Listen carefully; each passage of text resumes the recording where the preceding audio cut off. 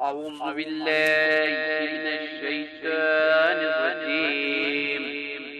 بسم الله الرحمن الرحيم اللهم لا تؤاخذني فيه بالأثارات وأقلني فيه من الخطايا